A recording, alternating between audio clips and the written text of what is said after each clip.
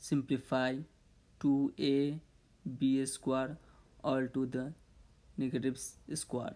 We first distribute the exponents. 2 to the negative 2 times a to the negative 2 times b to the negative 4 we take reciprocals to make them positive. 1 over 2a square times 1 over a square times 1 over b to the fourth then we get our final answer which is 1 over 4 a square b to the fourth